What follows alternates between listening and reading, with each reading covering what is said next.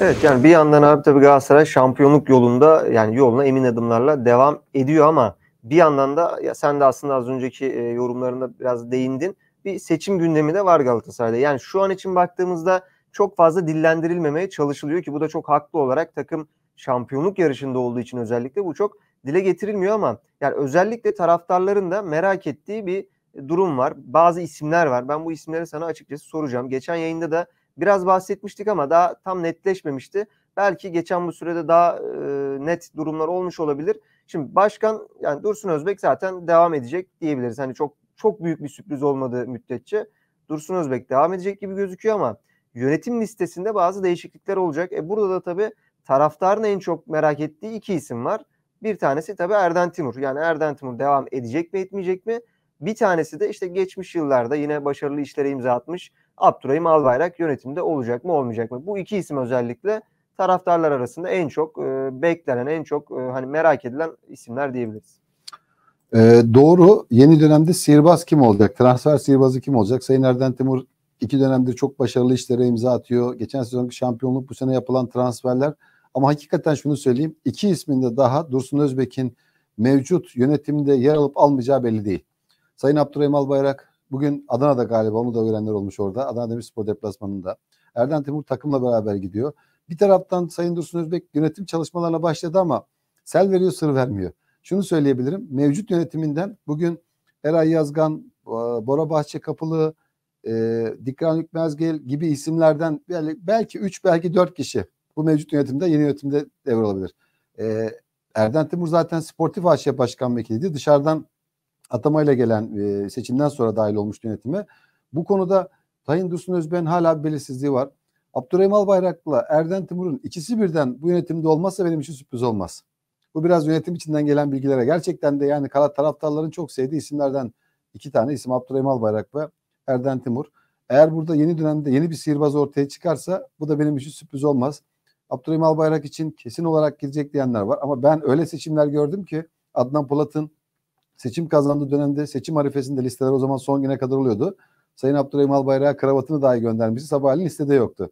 Şimdi listeler e, yanlış hatırlamıyorsam 3 Mayıs'ta verilecek. Fazla bir şey kalmadı. E, bugün tabii ki 26'sı ayın ve burada e, 4 buradan 3 olan 7 gün. Tam bir haftalık süre var.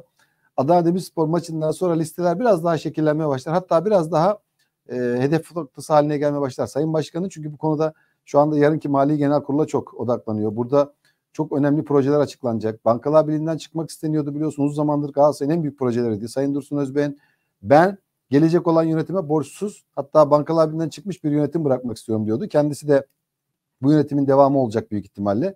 E, şunu söyleyebilirim. Yarınki genel kurulda belki de gerçekten Florya Riva e, şey Florya ile Kemerburgaz arazisinin başlangıcı. Kemerburgaz'a sezon başında taşınacağını daha önce ifade etmişti. Florya'ya başlayacak olan yeni inşaatlar, oradan alınacak avanslar artık bunun detayları ben duyduğuma göre 80 milyon dolar gibi bir önden ödeme alınacağı ve bu rakamın da zaten 2 milyar 300 bin TL olan o bankalar birliği borçlarını sıfırlayacak gibi gözüküyor. E, elini çok güçlendirir böyle bir olay. Seçime gidiyor olması. Şampiyonluğun gelmesi ayrıca güçlendirir. Aday çıkar mı çıkmaz bilmiyorum ama aday e, bir ismin adı gündeme geliyor. E, o da birkaç gün içinde belli olur. Daha önce başkan adaylığına koymuş isimlerden geçenler var. E, ama rakip olarak kim çıkarsa çıksın hem şampiyonluk hem bankalar birliğinden çıkmış, çıkarmış bir yönetim. Bankalar birliği borcunu sıfırlamış bir yönetim. Çok güçlü girer yönetime. Erden Timur Abdurrahim Albayrak konusunda bir kez daha söylüyorum.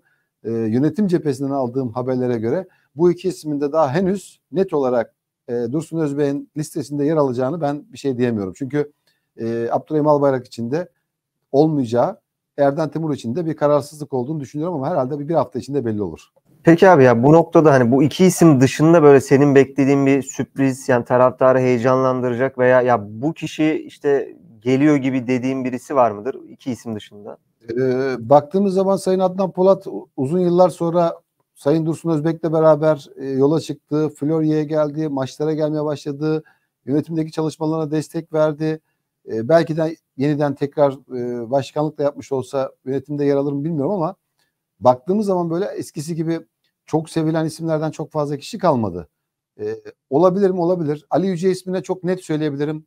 Daha önce Ünal Aysal döneminde de Dursun Özbek yönetiminde de yer almıştı. Voleybola bakıyordu. Voleybolda gerçekten çok başarılı işlere imza atmıştı. Galatasaray camiasında da çok sevilen bir isim. sadece voleybol değil tüm maçlara giden, içeride dışarıda maçları takip eden, e, sporun içinden gelen hatta e, Ahmet Yüce Ocaklı babası da Galatasaray camiasında çok sevilen bir isim. Şu an dışarıdan tek garanti isim vereceğim Ali Yüce diyebilirim. Ali Yüce gerçekten hem taraftarlar tarafından hem Galatasaray yöneticileri tarafından hem de Galatasaray lisesi ve lise dışında olan kişiler tarafından çok sevilir ve e, muhtemelen demiyorum %99'u demiyorum %100 ilk ismin Ali Yüce olduğunu söyleyebilirim ama önümüzdeki yayınlarda bu isimler biraz daha farklılaşabilir. Şu anda Ali Yüce ismini çok net verebilirim. Dursun Özbek yönetiminde yer alacak isim. Evet yani tabii şampiyonluk yarışından dolayı çok böyle konuşulmasa da yani isimler de yavaş yavaş netleşiyor ki Ali Yüce ismini yani Galatasaray taraftar da aslında hani biliyor yani bilinen bir isim o da Galatasaray taraftarında bir anlamda sevdiği bir isim ki abi yanlış hatırlamıyorsam e, önceki seçimde yani Dursun Özbek'in bir ikna edilme süreci vardı. Sen de hatırlayacaksın. Farklı adaylar vardı. Dursun Özbek sonradan e, aday olmuştu. Sanki o ikna döneminde de Ali Yüce'nin bir payı var mıydı? Yani ben öyle hatırlıyorum ama sanki o ikna sürecinde bir görüşmeler olmuştu. Vardı. Kendisi de listeye girmesi için çok çalışıldı ama o seçim süreci öyle bir seçim ki mahkemeyle gelen bir seçim süreciydi. Ee, Birçok insan öyle bir süreçte gelip yer almak istemez. Çünkü ben kendimden biliyorum. Türkiye Spor Yazarlar Derneği'nde bir dönem genel sekreterlik yaptım. Orada e, imza toplanarak biz seçime gitmiştik. İmza toplanan seçimde aday da bulamıyorsunuz. Üye yönetime girmek isteyen de çok az insan sayıda zorlanıyor. Çünkü o olayı çok fazla şık bulmuyorlar. Burak Elmas çok başarısız bir dönemden geçtiği için e, idari olarak ibra olmayan bir Burak Elmas vardı. İdari ibrasızlık mahkemeye taşındı ve seçim tarihi belli oldu. Dursun Özbek çok net bir şekilde olmayacağını ifade ediyordu ama çok camiadan baskı geldi. Birleştirici olarak bir de o süreci çok iyi kullandı. Sevgi iklimini, barış iklimini, açıklamalarında hep sevgiye vurgu yapması ve o süreçte de gerçekten bir sevgisizlik vardı. Kimse kimseyle konuşmuyordu. Herkes herkese e, ağır eleştiriler bulunuyordu. Ortada bir başarısızlık vardı. Tab tabiri caizse o camiayı toplamak lazımdı. Orada bir cenaze vardı. O cenazeyi kaldırmak gerekiyordu. Dursun Özbek bunu yaptı. O dönemde Metin Öztürk de başkan adayıydı. Metin Öztürk'ü de yanına aldı. Metin Öztürk'ü de yanına alması çok takdir topladı. Metin Öztürk döneminde Okan Buruk e, teknik adam olarak Metin Öztürk'ün adaylarının e, teknik adam olarak adayıydı. E, Dursun Özbek bunda da ortak akıllı hareket etti. O camiayı toparladı ve gelen bir şampiyonluk. Düşünün ki ligi 13. sırada bitirmiş. Ekonomik anlamda iflas etmiş bir Galatasaray'ı o sezon şampiyonluk ve mali anlamda şu anda bankalar birinden çıkarma noktasına getiriyor. E bunu tebrik etmek lazım. Demek ki güzel işler yapılıyor. E, yolun sonunda şampiyonluk gibi gözüküyor. Futbolun içinde her şey var ama bir gerçek var ki Galatasaray'daki sevgi iklimini ortaya çıkaran o gün e, muhalefetiyle başkan adaylarının çok olmasıyla Eşref Amamcıoğlu'nun da çok ciddi bir listesi vardı. Orada da çok güzel evet, bir seçim evet. yarışı oldu. Ve bu yarıştan sonra da Dursun Özbek kazandı. O gün zorla ikna edilmişti ama bugün bir yere gidemezsin. Çünkü şampiyonluk e, kazanılmış geçen sezon. Bu sezon şampiyonluğun en güçlü adayı ve ben rakip bile çıkacağını düşünmüyorum ama Galatasaray'da tek adaylık seçim olmaz. Bir ismin şu anda e, adaylık çalışması yaptığını duyuyorum. Evet yani Galatasaray'da her zaman o muhalefetin de biraz hani dinç kalması her zaman Galatasaray'ı ileriye götür diyebilirim ben. Yani e, tabii Dursun Özbek devam edecek ama yine de bir aday çıkıp hani ya şunları şunları da yanlış yaptınız veya biraz da iyi yapabilirsiniz gibi bir hani eleştiri de Galatasaray'da her zaman vardır. Bu da bence Galatasaray'ı diğer kulüplerden ayıran en büyük özelliği diye düşünüyorum ben açıkçası. Bu eleştiri kültürünü. Yüzde yüz ve net. Ben 27 senedir Galatasaray'ın içindeyim muhabir olarak, yorumcu olarak, yazar olarak ne dersek diyelim yani ben artık en altından gelmiş bir kişi olarak Galatasaray'da eleştiri kültürü her zaman vardır. Bir dönem Galatasaray'da Türkiye'nin en önemli zenginlerden bir tanesi başkan adayıydı. Ama Galatasaray'da param var ben başkan olacağım diye bir şey yok. Galatasaray kulübüne sahip çıkar. Galatasaray taraftarı kulübüne sahip çıkar. Başkan da gönderir. Yeri geliyor futbolcu da gönderir. Eğer bir başarısızlık varsa o başarısızlıkta e, Dursun Özbek'in nasıl gittiğini hatırlayalım. Galatasaray tarihinin en kötü başkan olarak gönderilmişti o dönemde. E sonra gelen Burak Elmas bence Galatasaray tarihinin en kötüsü ve bir daha toparlama şansı da yok. Dominic Torrent gibi e, e, stajyer bir hocayı buraya getirdi. Teknik adam bile değil. Ligi 13. sıra bitirdi. Fatih Terim'den sonra Dominic Torrent'i getirmek mali olarak da verildiği sözler vardı. 40 milyon dolarımız var dedi. Şu kadar transfer yapacağız dedi. Ve günün sonunda Galatasaray'ı çok kötü bir sürece getirdi. E, dolayısıyla Dursun Özbek'ten bunu aldı. Dursun Özbek de şu anda en iyiler arasına girdi.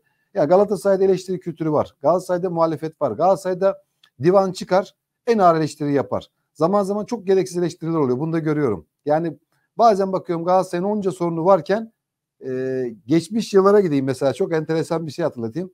Seyfettin Çelik Alp vardı. Allah rahmet eylesin. Özcan Can Aydın başkan. Olimpiyasada ilk açıldı. Orada bir Galatasaray'ın mali sorunları konuşuluyor. Galatasaray adası açılacak.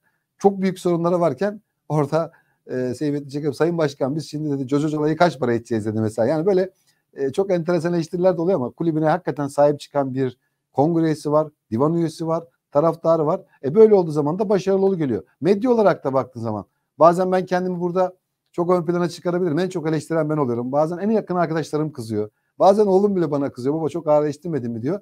Ama eleştiri kültürüne en çok e, yakışan kulüp Galatasaray'da. Çünkü eleştiri Galatasaray'da var. Hakaret yok. Ben e, hiçbir zaman hiç kimseye hakaret etmem. Eleştirimiz varsa bunu yapmak zorundayız. Çünkü eleştiri başarılı getir. Bizde de bir eleştirecek bir şeyimiz varsa ben de eleştiriyi açayım. Murat sen bana telefon abi bu eleştirinde haksızsın dediğin zaman hemen Murat bakalım tabii ki ya demesini de bilirim yani.